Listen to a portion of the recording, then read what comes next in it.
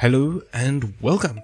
Today I'm going to be creating an intervalometer which is used in creating time lapses. I'll be using the following parts.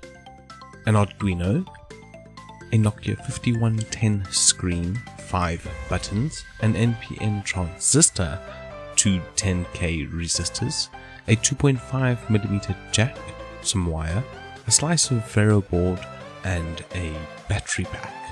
Starting from left to right, the battery is connected onto the Arduino, the positive going onto the V in and the negative going to ground.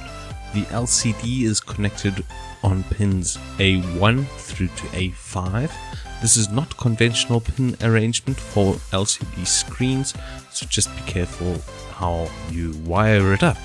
The part of the circuit connected to the camera uses the transistor and two 10k resistors. The tip of the 2.5mm jack goes to the collector of the transistor, the emitter goes to ground, and to the sleeve of the 2.5mm jack. The base of the transistor is connected to ground via a 10k resistor, and the base is also connected to pin 7 via a 10k resistor. All the buttons are connected to ground directly, and then from pin 2 to pin 6 of the Arduino.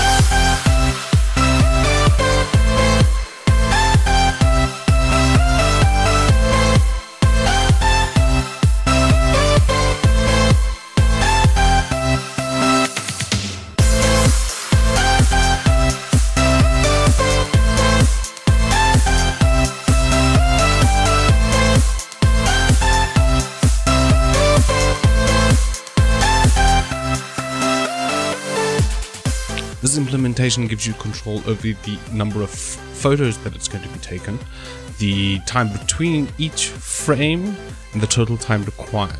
It will also control the shutter speed if you have put your camera into bulb mode. It also shows you how long the time lapse movie is going to be when you're finished.